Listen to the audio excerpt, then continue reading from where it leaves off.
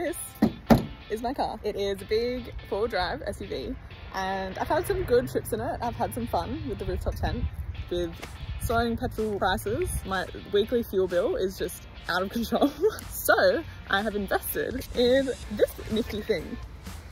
I've had it for two weeks and so far I've replaced about 120 kilometers of local trips. Mostly the trips are less than 5Ks. Now, this zippy little thing is taking me around these beautiful bike paths that I never knew existed around my local suburbs. I have been really enjoying it and I'm really keen to keep tracking how many kilometers I'm replacing and seeing how much money I'm saving because I'm using less petrol. For every trip that I replace with the e-bike and not the car, they're genuinely emissions staying in the tailpipe and not being released into the atmosphere. Great for the planet and great for me.